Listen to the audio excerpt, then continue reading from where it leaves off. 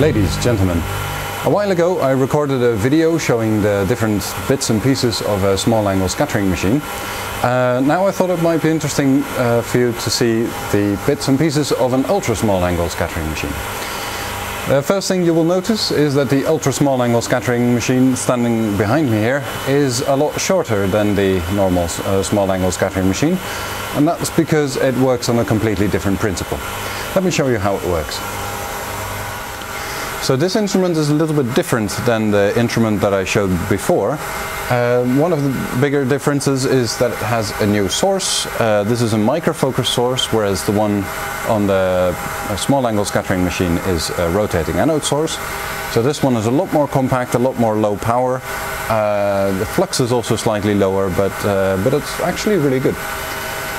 Um, Attached to the X-ray source we have uh, parallelization and monochromatization optics, uh, just like the other machine.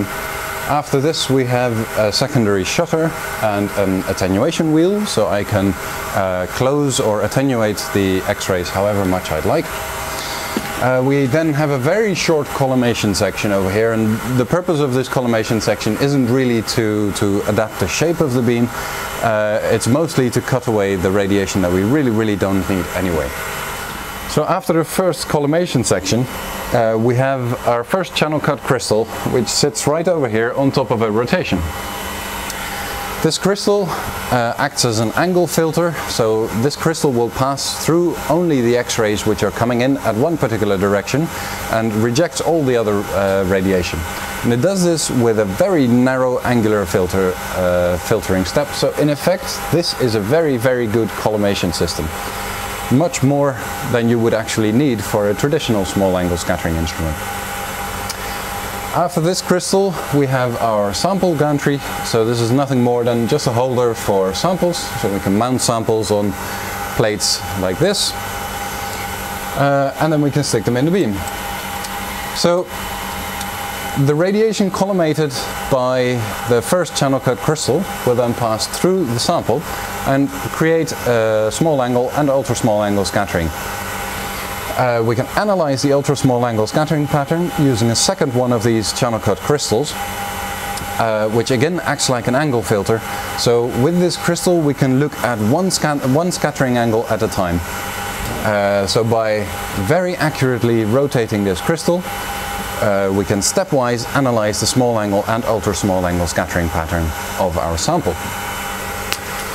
After this crystal, since we don't need any position res resolution, uh, we have a simple scintillation type counting tube uh, which counts photons uh, in a very straightforward manner. Unfortunately, this, in, uh, this detector turns out not to be uh, good enough for the purpose that I had in mind, so I will replace it soon with another detector and hopefully that will give us uh, a better signal to noise ratio. This detector and the next detector will be connected to some detector electronics, which sits over here. So here we have uh, old style uh, NIM type uh, detector electronics where all of the detector uh, electronics features are uh, separated in different modules. I very highly recommend this type of approach uh, when you want to learn about X-ray detection because it allows you at any point to adjust your, your detector settings and to find out exactly what each step is doing. Besides the detector electronics, we have uh, a little bit more electronics over here. Uh, this is used to uh, control the instrument, so we have a motor controller over here, uh, we have some power supplies, we have some solid state relays, uh, some temperature readouts, um, and a lot of wires to connect up all the motors uh, to the various bits and pieces. So that's the entire instrument. Uh, I hope it was a little bit uh, instructive and if you have any questions please feel free to ask.